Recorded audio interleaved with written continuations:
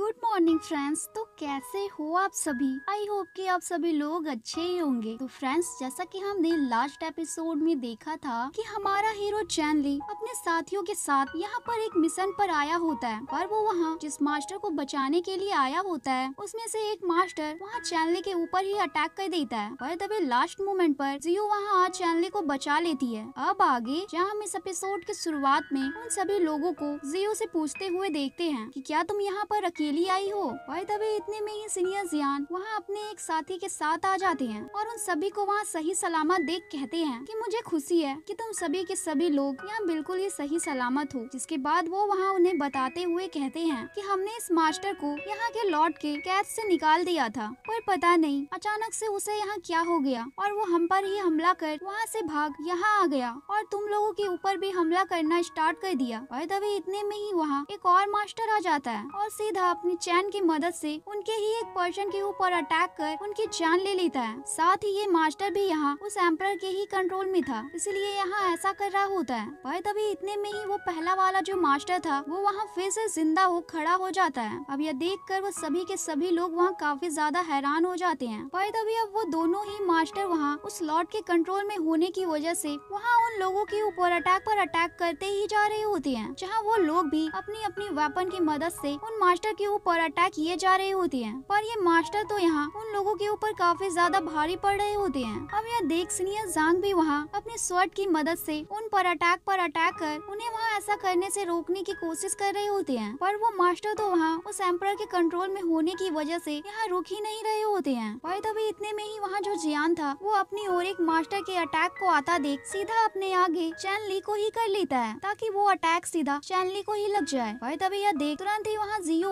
आ चैन ली को बचा लेती है। पर तभी इधर वो दूसरा मास्टर वहाँ जियान पर ही एक जोरदार अटैक कर उसे यहाँ से दूर फेंक देता है, जिस वजह से वो वहाँ थोड़ा सा घायल हो जाता है और उसे वहाँ कुछ होने सा लग जाता है। जैसे वो बुरा लॉर्ड उसे भी वहाँ अपने कंट्रोल में करने की कोशिश कर रहा हो। वही तभी इतने में ही वो बाकी सभी लोग वहाँ आ जाते हैं और उसे संभाल लेते हैं, जिस वजह से उसे वहाँ थोड़ा पहले से ठीक लगने लग जाता है। वही तभी इतने में ही वहाँ वो दोनों के दोनों मास्टर उन सभी लोगों को वहाँ आगे और पीछे की ओर से घेर लेते हैं। अब यह देख कर वो सभी लोग वहाँ घबरा जाते हैं। वही तभी सीनियर जांग वहाँ उन मास्टर से कहते हैं कि क्या तुम लोग यहाँ पागल हो गए हो, जो हम पर अटैक कर रहे हो? क्योंकि हम लोग तो यहाँ तुम्हें ही बचाने के लिए आए हुए हैं। इसलिए तुम दोनों अभी जिसके भी कंट्रोल में हो, उसके कंट्रोल से तुम लोग यहाँ बाहर आने की कोशिश करो। पर इन बातों का उन मास्टर के ऊपर कोई भी असर नहीं होता। जिसके बाद जिस मास्टर के पास चैन थी, वो वहाँ अपनी चैन को फेंक अपने दूसरे तरफ़ के मास्टर के हाथों में दे देता है, जहाँ वो दोनों ही उस चैन को पकड़ घुमाने लगते हैं। और उन सभी के सभी लोगों को वहाँ पकड़ अपने पास कैद कर लेते हैं। पर फिर भी वो सभी लोग वहाँ अपनी अपनी पूरी कोशिश कर रहे होते हैं, इस चैन से बाहर निकलने की। पर उनके सारी की सारी कोशिश वहाँ बेकार हो जाती है। अब इतने में ही वो दोनों मास्टर वहाँ उन लोगों की ओर ही आगे बढ़ना स्टार्ट कर देता है। अब यह देख वो सभी लोग वहाँ घबरा जाते हैं। पर तभी हमारे हीरो चैनली के दिमाग में वहाँ एक आइडिया आता है, जहाँ वो एक पत्थर को उठाकर सीधा वहाँ जल रही मसाल के अंदर ही फेंक देता है। अब इस वजह से वो मसाल की आग वहाँ काफ़ी ज़्यादा बढ़ जाती है। और इस वजह से उन दोनों के दोनों मास्टर का वहाँ ध्यान कुछ देर के लिए यहाँ से हट जाता है। तभी अब इसी मौके का फ़ायदा उठा और सभी के सभी लोग अपनी अपनी पावर का यूज़ कर उस चैन को वहाँ तोड़ इससे आज़ाद हो जाते हैं। अब सभी आज़ाद होते ही दोबारा से उन मास्टर के ऊपर वो लोग वहाँ अटैक पर अटैक करना शुरू कर देते हैं। जहाँ अब काफ़ी सारे अटैक करने के बाद वो मास्टर वहाँ हार जाते हैं और उन लोगों से कहते हैं, तुम सभी मिलकर हमें यहाँ मार डालो। इससे पहले कि हम यहाँ फिर से बेकाबू हो जाएँ। उस लॉर्ड की वजह से, क्योंकि हमें यहाँ काफ़ी अजीब अजीब सी आवाज़ें सुनाई दे रही हैं। वो लॉर्ड हम पर फिर से कंट्रोल करना चाह रहा है, जिस वजह से मुझे यहाँ तुम सभी लोगों को मारना ही होगा। इसीलिए तुम देरी मत करो और हमें मार डालो। अब यह सुन जियान वहाँ उस मास्टर को मारने के लिए तैयार हो जाता है। और जैसे ही उस मास्टर को मारने के लिए वहाँ जाता है, वैसे ही उनकी ही एक साथी जियान को ऐसा करने से रोकते हुए उससे कहती है, क्या तुम यहाँ पागल हो गए हो? क्योंकि हमारा मिशन था इन लोगों को यहाँ बचाना, न कि इनकी जान लेना। और तो और, कोई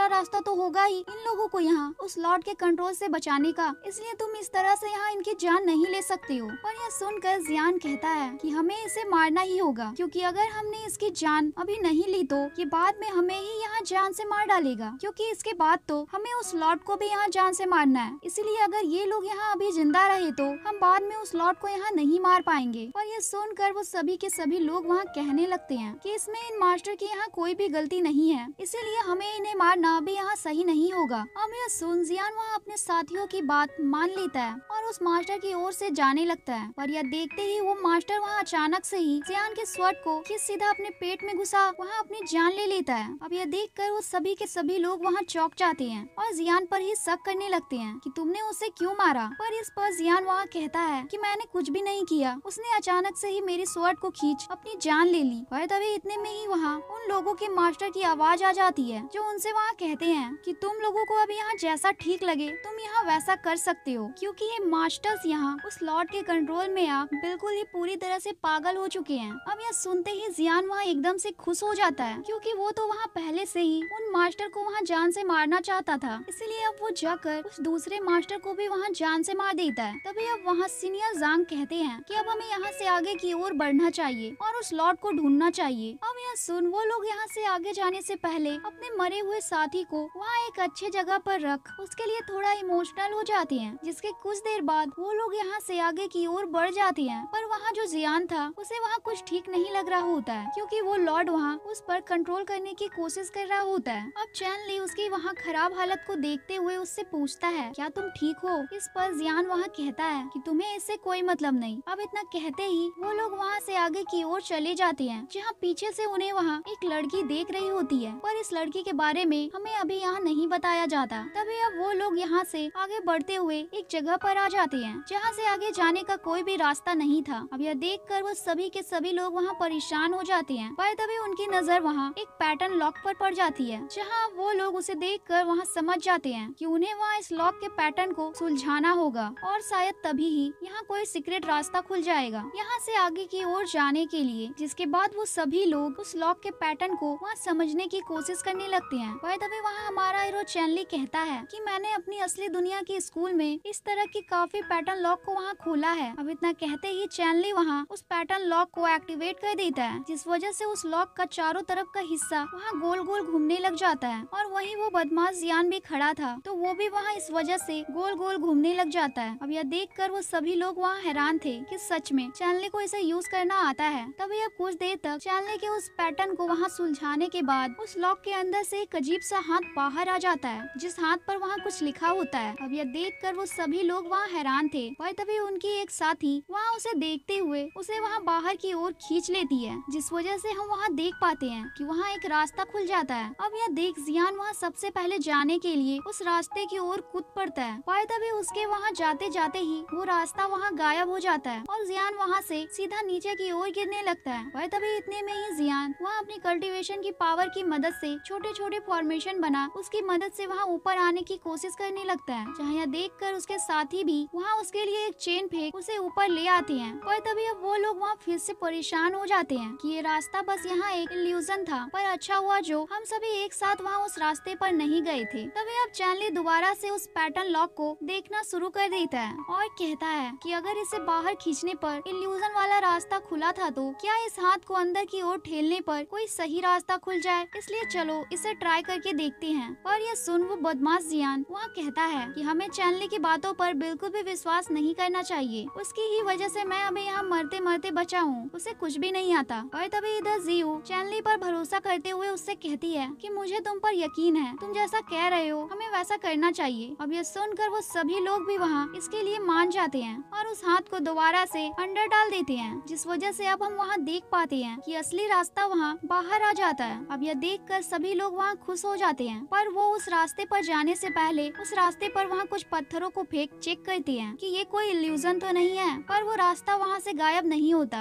अब यह देख कर वो सभी लोग उस रास्ते से होकर वहाँ से जाने लगते हैं। पर कुछ दूर उनके चलते ही वो रास्ता वहाँ टूटने लग जाता है। अब यह देख कर वो सभी लोग वहाँ परेशान हो जाते हैं और जल्दी से जल्दी अपनी जान बचा, यहाँ से आगे की ओर भागने लगते हैं। पर तभी इसी भागा दौड़ी में वो बदमाश जियान चैनले को वहाँ जान बूझ गिरा, यहाँ से आगे की ओर भाग जाता है। पर तभी पीछे से आ रही जीव तुरंत ही वहाँ चैनले को बचा। आगे की ओर भागने लगती है कि वो पूरा का पूरा रास्ता वहाँ टूट जाता है। साथ ही मास्टर जांग भी वहाँ उन्हें बचाने की कोशिश करते हैं, पर शायद वो उन्हें वहाँ बचा नहीं पाते। और इसी के साथ हमारा ये एपिसोड एंड होता है फ्रेंड्स अगर वीडियो अच्छी लगी हो तो प्लीज़ वीडियो को लाइक और चैनल को सब्सक्राइब करें। Bye bye